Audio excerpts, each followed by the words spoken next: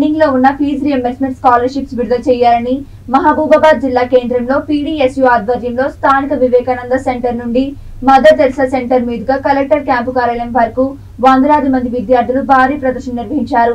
అనంతరం collector camp office ముందు ధర్నా చేపట్టారు.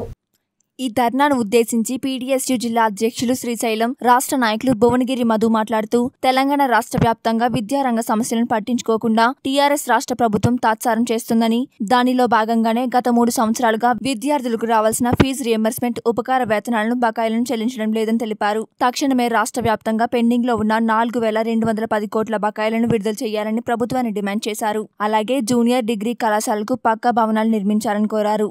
ఎస్సీ ఎస్టీ బీసీ విద్యార్థులకు వసతి వసతి గృహాలలో నెలకొన్న సమస్యలను బహిష్కరించారని అన్నారు.